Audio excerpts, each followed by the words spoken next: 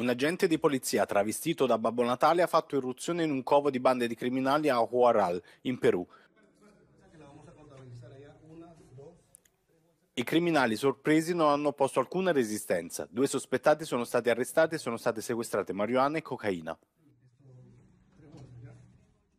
Non è la prima volta che la polizia antidroga peruana usa questo trucco. L'anno scorso il Babbo Natale poliziotto ha fatto sequestrare 100 buste di cocaina e circa 300 buste di marijuana.